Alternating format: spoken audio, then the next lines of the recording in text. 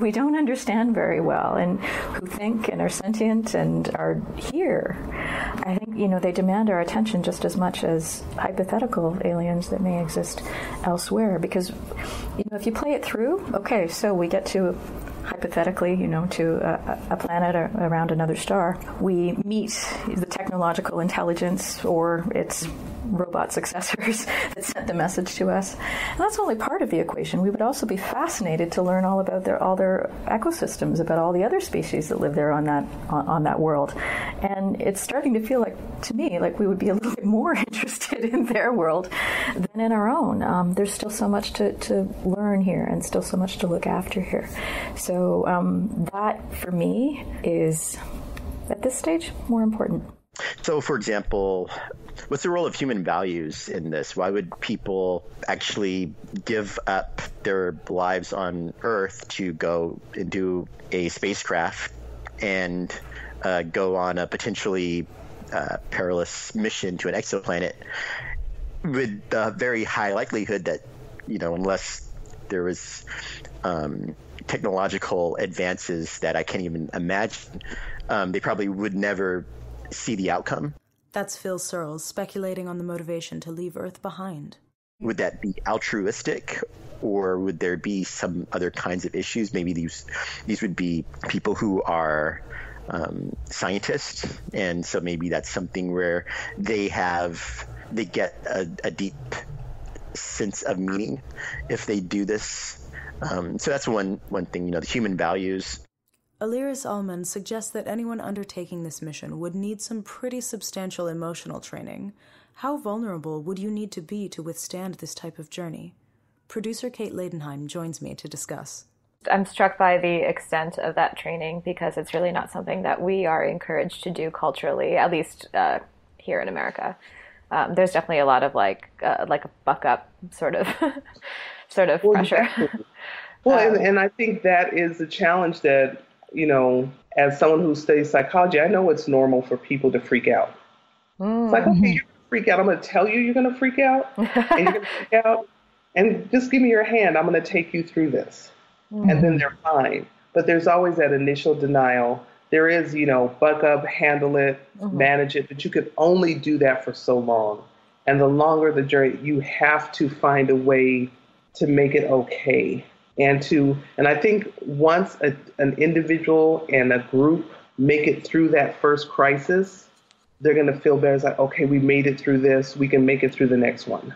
This is where we get into a lot of speculation you know can ai be your counselor? Artificial intelligence is that something where you can just do that? But still that human interaction that one-on-one if you get in a fight with someone or just a small argument you want those people to be able to handle that argument in an effective manner so it doesn't fester and blow up later because you didn't address everything. It is going to take a lot of training. We're not good at it now, but you know, we can we can learn and we can adapt. And when survival is at stake, people come together in amazing ways. Mm-hmm. I always kind of tease people, you know, you're one broken heart away from a disaster.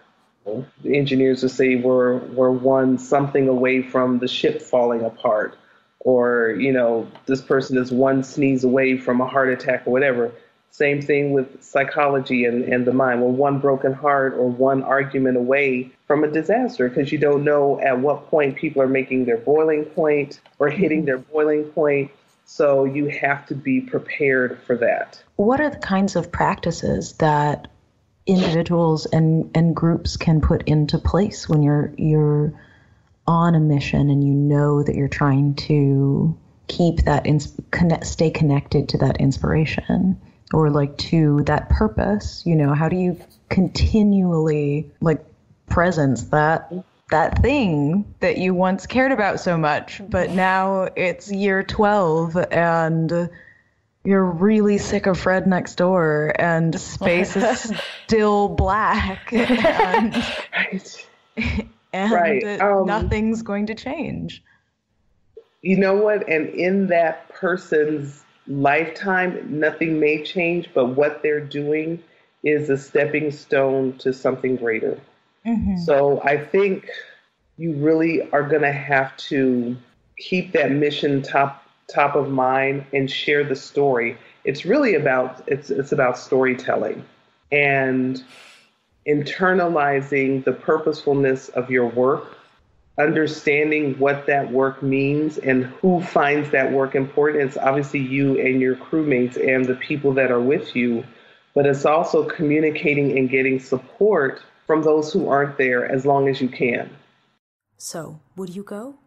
We asked Rhae Adams, as someone thinking about commercial spaceflight in the near future, would you consider relocating off Earth? In Chile, where where you know I am right now, um, there are some regions up north in the desert uh, where they actually test uh, a lot of the Mars rovers. It just happens to be an area that's very similar um, in the composition of the dirt and the level of dryness and the wind and everything else.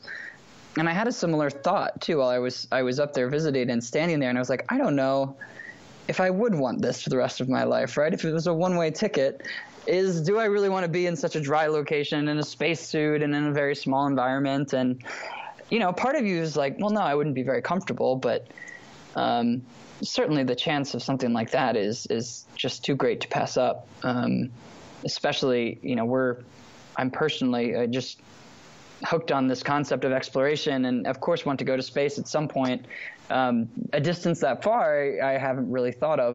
Kathryn Denning spoke with us about this idea of leaving Earth permanently and whether or not we are programmed to say goodbye to our homes. If we're talking about leaving Earth and never coming back, that plays into kind of two big stories of our age. One is the story of displacement. There are more people on this Earth displaced than ever before. And that's partly just a function of global population, but also just what's happening in the world. It's extraordinary how many people have had to make the choice to leave the only home they've ever known and move on. And I think that creates a certain psychology in the world where it becomes that much more thinkable to just leave on a bigger scale. And I think it also plays into the notion of escape.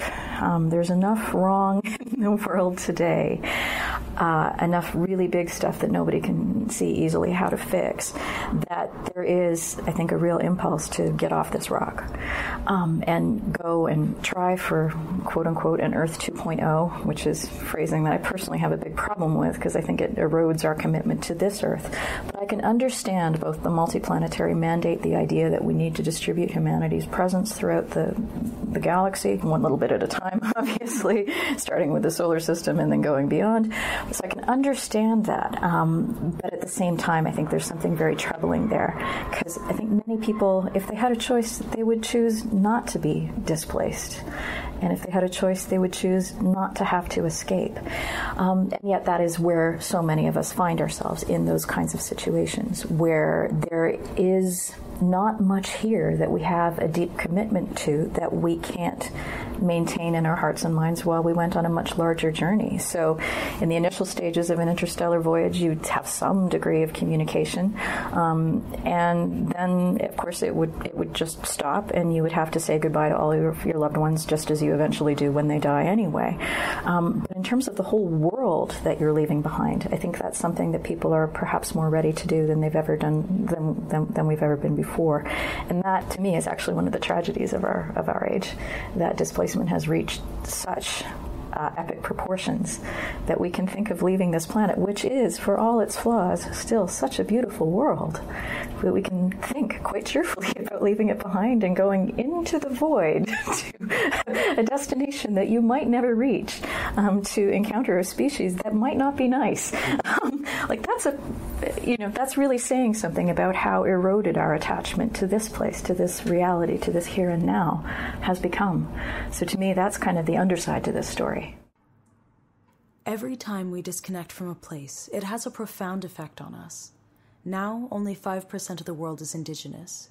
This small percentage of people are the only ones that are still living on the parts of our planet tied to their ancestral origins. 95% of the world's population has a shared history of displacement, and beyond that, moving around is a big part of our lives. Did you go away for school? Move for a job? Are you a refugee fleeing conflict and trying to provide a new life for your children out of harm's way? Our human story is so defined by disconnecting from a place. Are we, in some sense, programmed to leave our homes behind? Would you decide to go? Let us know online at luxtaterra.com and on Twitter and Facebook at luxtaterra. This has been Transmission Podcast, hosted by Cecilia Lynn Jacobs and produced by Ian Garrett and Kate Ladenheim. With special thanks to today's guests Pippa Goldschmidt, Beth Billar, Dr. Duncan Forgan, Kathryn Denning, Phil Surles, Joel Meyers, Rhae Adams, Alires Almon. Original composition and sound editing by Miles Avery. Transmission is a podcast and performance series speculating on what might happen if we began to receive the popular broadcasts of intelligent alien life, and follows two sisters selected to lead an interstellar mission to make first contact. Learn more about our team and upcoming performances at luxtaterra.com and find us on Facebook and Twitter at Luxtaterra. That's L U X T A T E R R A. Transmission is a production of Toaster Lab in Canada and is a fiscally sponsored project of Fractured Atlas in the United States.